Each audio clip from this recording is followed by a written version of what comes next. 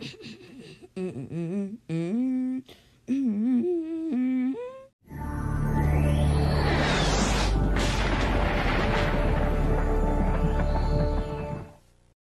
guys, Tracy. Welcome to episode 120 of the RLE series and the one year anniversary special. In this episode, we'll go through a company founded by Charles King, which then got folded to CBS Television Distribution in 2007, talking about King World Productions. Logo, search for King World Productions. Searching for King World Productions. Result achieved. King World Productions. Inc. was a television company established in 1964 by Charles King when they gained the distribution rights to the classic Our Gang, later retitled The Little Rascals, shorts. Years later, the company was ran by his children, Roger, Michael, Robert, Diana, Richard, and Karen King after King's death. In 1982, King World joined forces with Merv Griffin Enterprises to handle all of Griffin's nightly syndicated programming, including when they've launched a syndicated version of Wheel of Fortune on September 19, 1983, acquired the syndication rights to the Merv Griffin Show from Metromedia Producers Corporation, and two syndicated pilots of Jeopardy! Until the series officially launched on September 10, 1984. King World later formed an ad sales barter division Camelot Entertainment Sales which would become King World Media Sales, and later CBS Television Distribution Media Sales, in 1997.